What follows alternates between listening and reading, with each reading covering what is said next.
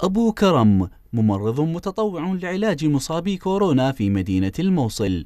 آثر على نفسه فكان لا يكل ولا يمل من العمل الدؤوب لفحص المرضى ومساعدتهم على الشفاء. إلا أن أبا كرم دفع حياته ثمنا في سبيل الإنسانية ولكن ما أثار سخط زملائه والأوساط الطبية هو عدم حضور مسؤول واحد على الأقل. لحفل تأبينه.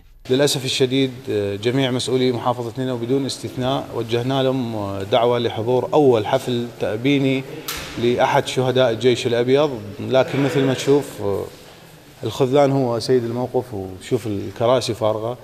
لكن أعتبي على المسؤولين لو كان هذا الشخص من أبناء المسؤولين أو من المسؤولين لما رأيت هذه الكراسي فارغة الإهمال الحكومي واللامبالاة لم تقف عند هذا الحد فقط بل أن قاعة الحفل التأبيني التي خصصتها مديرية الشباب والرياضة كانت من دون تيار كهربائي وهذا إن دل على شيء فإنه يدل على الاستهانة بجهود الجيش الأبيض وتضحياته في مواجهة كورونا.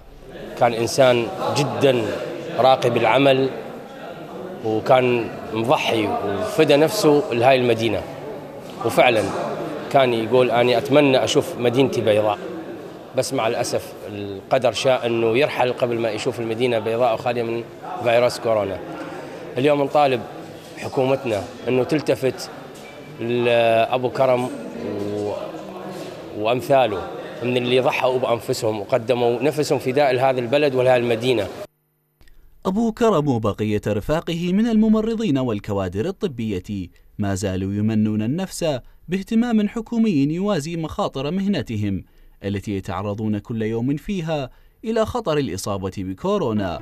ولكن يبدو أن الحكومة ومحافظيها ما زالوا مكتفين بموقف المتفرج.